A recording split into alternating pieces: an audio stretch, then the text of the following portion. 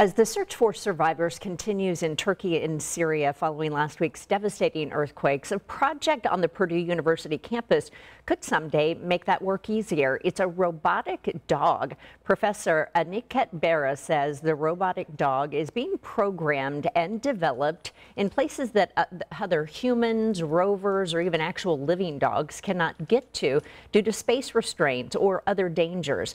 For instance, it could crawl through collapsed buildings after an earthquake earthquake using instruments to detect body heat, CO2, or other indications of trapped survivors.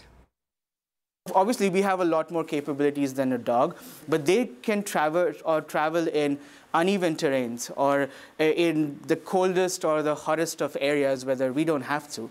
So this is essentially building a good teamwork with humans to solve uh, different kind of tasks. Now, the dog is commercially available, but Bera and his team are working on the brains that control its navigation and allow it to sense its surroundings. He also can see it being used as a therapy dog, understanding real human emotions. I never so. thought about it in that sense. It's a therapy dog. But, yeah. that but the, the things that they're able to do, though, as we're seeing just with the devastation mm -hmm. that's mm-hmm. happening right now, that would really, really mm -hmm. come in mm-hmm. handy. Yeah.